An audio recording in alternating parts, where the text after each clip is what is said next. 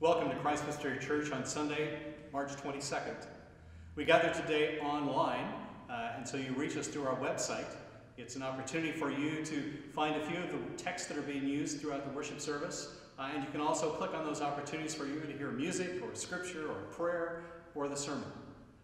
We wish we could meet together in our sanctuary or in our chapel, but given the current situation with the coronavirus, we know that it's much more important for us to seek the health of individuals in our community and not invite people into our community that might spread coronavirus as well. So we'd hoped to meet last week, uh, had everything all prepared, looking at spe special places that we would have for people to sit, uh, and then decided on Saturday that it was just too much of a risk, and so we canceled our service. Our session met on Tuesday night, and we've now decided that we will cancel all our services here at the church until the first week of May. But we will be online. And so uh, we as a staff and other members of the church will continue to be actively involved in providing worship opportunities for you and educational opportunities for you. Uh, you can turn in to our Zoom site on Wednesdays and uh, have a discussion with Lady and myself, uh, taking a look at the Bible and theology. Variety of other ways that our youth are staying connected, uh, children are staying connected.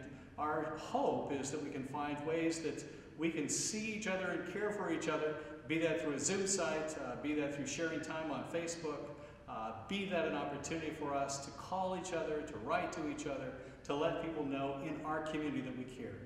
Most importantly, may this be a time for us to pray for each other so that we can be healthy. And those individuals that are going through experiences of, of the virus in their life right now, may this be a time for them to find healing and wholeness. Be with all those that have lost lives at this point. Let us show our care and concern for them. And so, as we gather now to pray to God, to celebrate God's presence in our lives, let us trust in a God that promises to be with us and care for us. Amen.